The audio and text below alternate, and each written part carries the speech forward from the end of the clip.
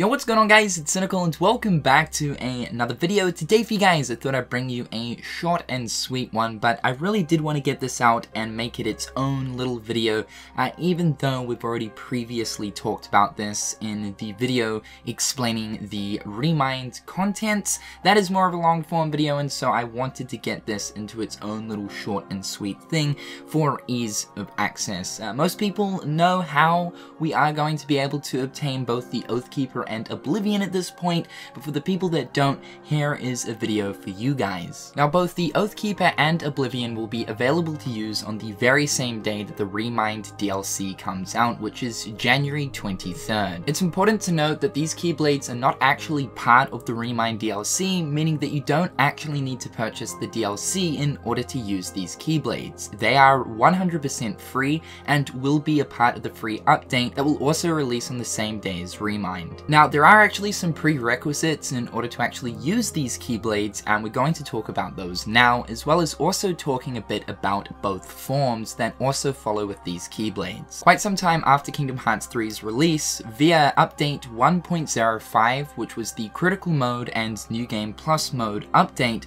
Square Enix also sneakily added in two new items known as the Proof of Promises and the Proof of Times Past, both of which are given to the player after they complete certain things. So let's first of all start off with the Oathkeeper. In order to obtain the Oathkeeper Keyblade, you're going to need to have the Proof of Promises. In order to get this special page item, you're going to need to photograph all 90 lucky emblems from throughout the game. Once you've photographed the 90th emblem, you will then receive the page. At this stage in time, we don't currently know the name of the form that follows for the Oathkeeper Keyblade, although because of the fact that the form that follows for the Oblivion Keyblade is known as Dark Form, it's very likely that the Oathkeeper's form will be known as Light Form. Within the Remind trailers of the Oathkeeper form gameplay, unfortunately the command menu isn't part of the heads-up display, meaning that we actually haven't seen the official name just yet. The outfit of the Oathkeeper form consists of white, grey, and black colors, and the detailing on the outfit for the hoodie as well as the two legs for the pants is actually the teeth of the Oathkeeper Keyblade,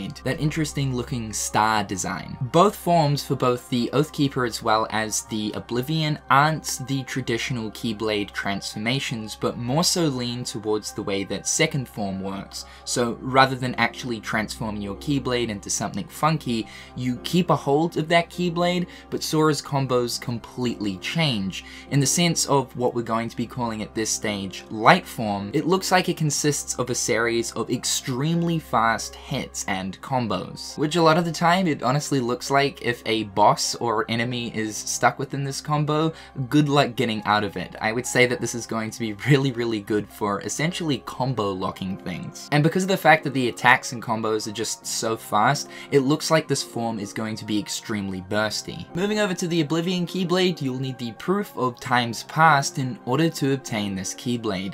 This proof is awarded to the player once they successfully complete critical mode, and no you don't have to do the additional post-game stuff on Critical in order to get this page, you just simply need to finish the story. The form that follows for this Keyblade consists of darker colors, as it is known as Dark Form. Basically, the entire form outfit is pretty much black. This one looks extremely swagger. The detailing on this outfit for the hoodie and the two legs for the pants, just like the Oathkeepers, looks to be that the details are actually the teeth of the Oblivion Keyblade. Now we haven't seen Dark Form's combos in action, but like I was saying with the Oathkeeper's form, this will be working very similar in the sense of Sora still keeps the Keyblade whilst in this form, there is no Keyblade transformation, so this will be changing up Sora's combos to hopefully something more so darkness orientated. I don't think it'll be quite to the point of say something like Rage Form's crazy combos or anything like that, but more so darkness based combos that are tactical. What we have seen of Dark Form in action is simply just its guard at this point. But I have to say, what an absolutely beautiful looking guard. This would have to hands down be the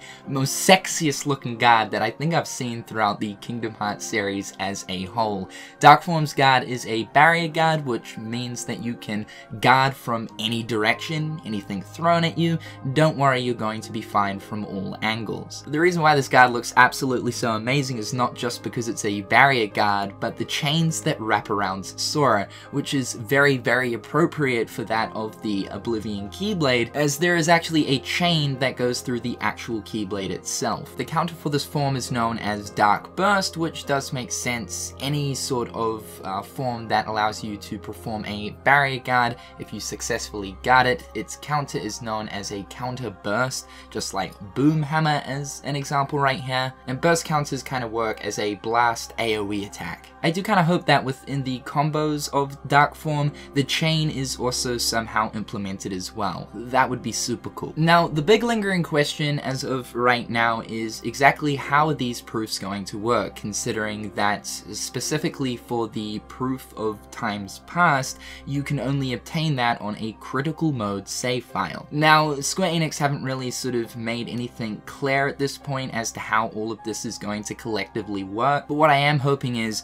once you've obtained these proofs, every save file that you have, the game recognizes that you've already obtained both pages, meaning that you can essentially just start a new game on whatever difficulty you want. The game will pick up on a different save file that you have previously obtained for the proof of promises as well as proof of times past, and you'll automatically be given the Keyblades. The only reason why I mention this is there is a tad bit of confusion with people saying, well, I have the proof of times past through obviously completing my critical save file, but then my proof of promises is over on a different save file that is on proud mode, for instance. So uh, the question is, do you absolutely need both proofs on a critical file, or is it possible to use both save files to start a new game plus in order to get, obviously, the Keyblades? That is the question as of right now. Obviously, you can only use one cleared save file to start a new game plus, and if that is the only way of receiving these Keyblades, it does mean that people will need to uh, get the proof of promises